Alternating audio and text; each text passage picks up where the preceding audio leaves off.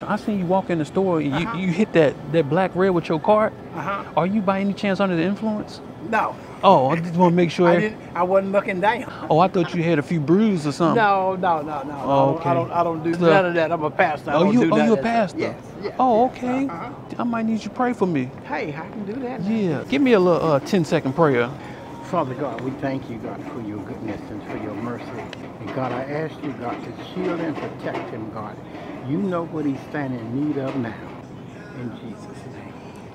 Amen. Now when glad you I met you. Yeah, I'm glad I met you too. When Yeah. you when you just prayed, God spoke to me. Mhm. And you know what I need? Uh-huh. Let me get that $20 bill right there. Yeah, I don't have that one. You got- can't get I'm, that I'm, getting- I'm, getting, I'm getting ready to go. I'm getting oh, ready to okay. go on vacation. Okay. Well, I'll get it from you when you get back. I get back.